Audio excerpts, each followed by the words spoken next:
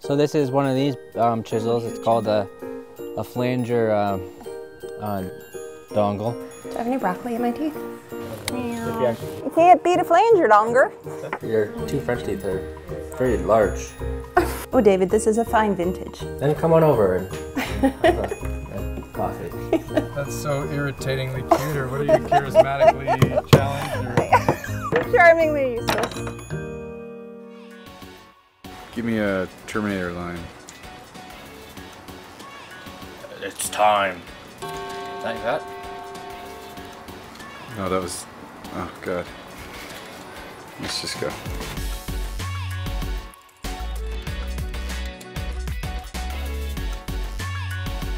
We're back here with our final finished clock and look how beautiful it is. I love ArtResin on wood. It just makes it looks so, so, so beautiful. Yeah, but the pro problem is I don't really, it takes so long to read what time it is. Because like, look at, you have to say that, okay, that's number six. No, how do you do this? I don't know, what time is it? it? I think it's like 25 to 5. I don't know, like that's three, four, oh, like Oh, no. five. Anyways, it looks for great. smart people. Yeah, you don't actually, it's very, yeah, and you don't actually need to use it as a clock. It just looks like you're really smart. Exactly. Yeah, and then you say, I made it myself and it was easy, right? So you're crafty and smart. Yeah. Creative and smart. Yeah.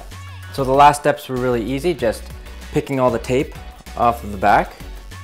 Just use an X-Acto knife to get under there. Did you get that? I did. And then re-drilled the center hole just to get rid of all the epoxy that had hardened in there and made it nice and clean. And then just ran it through the table saw to make the perfectly flat bottom.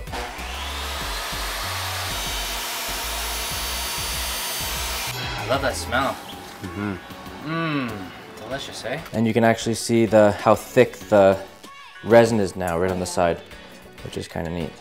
Then we took our uh, clock mechanism here and you can see we just placed it in the back in that hole that we'd made and we lined up our um, second and minute and hour hands here and then just fit the whole thing in. Looks beautiful. It was hard.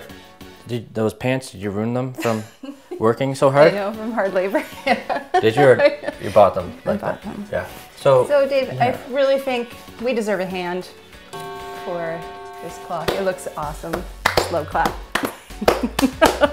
yeah. I guess my final words are I never really thought about time and like, what is time? Oh wow, that's getting pretty deep now. It's kind of existential. I don't know. what is time? Anyways, if you know, comment below. And, and thanks for watching. And Joanne, that was that was great.